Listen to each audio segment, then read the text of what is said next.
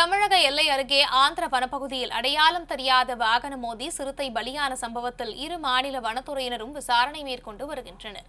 வேலூர் மாவட்டம் பேரணாம்பட்டியிலிருந்து ஆந்திர மாநிலம் பத்தலம்பள்ளி வனப்பகுதியில் கடந்த சில நாட்களாக சிறுத்தை நடமாட்டம் இருப்பதாக வனத்துறையினரும் காவல்துறையினரும் வாகன ஓட்டிகளுக்கு எச்சரிக்கை விடுத்து வந்தனர்.